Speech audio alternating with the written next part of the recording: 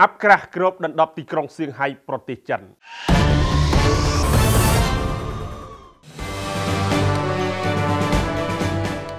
អាប់យ៉ាងក្រាស់បានផ្អាកប្រតិបត្តិការនាវា ដែលធ្វើដំណើរឆ្លងកាត់ច្រកសមុទ្រខ្វាងជូវខេត្តខ្វាងតុង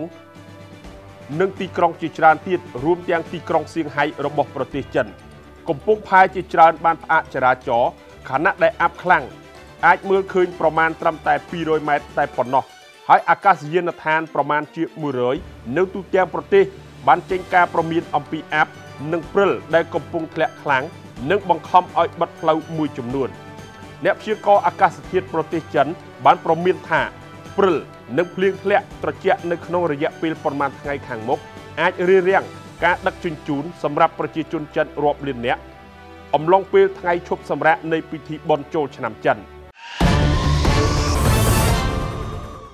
អគិភ័យឆាបឆេះយ៉ាងសន្ធោសន្ធៅនៅប្រទេសកេនយ៉ាក្រុមអ្នកពន្លត់អគិភ័យប្រទេសកេនយ៉ាបានព្យាយាមពន្លត់ភ្លើង ដែលកំពុងឆាបឆេះយ៉ាងសន្ធោសន្ធៅកាលពីថ្ងៃអង្គារទី30ខែមករានៅកណ្ដាលទីក្រុងណៃរ៉ូប៊ីក្នុងតំបន់ពាណិជ្ជកម្មក្បែរកេឡដ្ឋាន